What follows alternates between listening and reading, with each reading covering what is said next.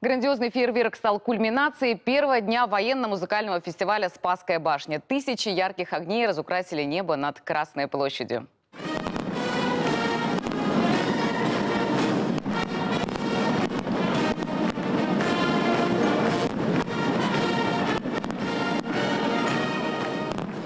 Не менее фантастическим было и само выступление военных оркестров. Коллективы из 11 стран прошли у стен Кремля. Главная тема в этом году – офицерский бал. Но и кроме классики зрители услышали вариации песен «Калинка», «Катюша», а также композиции из популярных фильмов.